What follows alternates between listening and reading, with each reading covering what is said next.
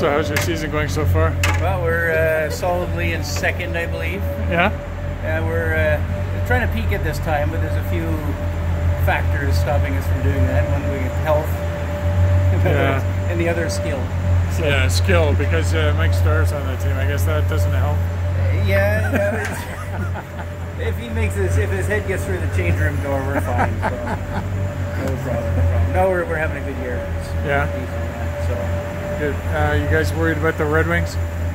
Uh, we played them last game. This is a back-to-back one, so we've been scouting them the last game. It was 0-0. This is uh, this is where the payoff comes. Yeah. So we'll Did any? Uh, did you guys have any practice to go over goal scoring? Uh, our strategy is a little simple. I don't know. don't forget the goalie.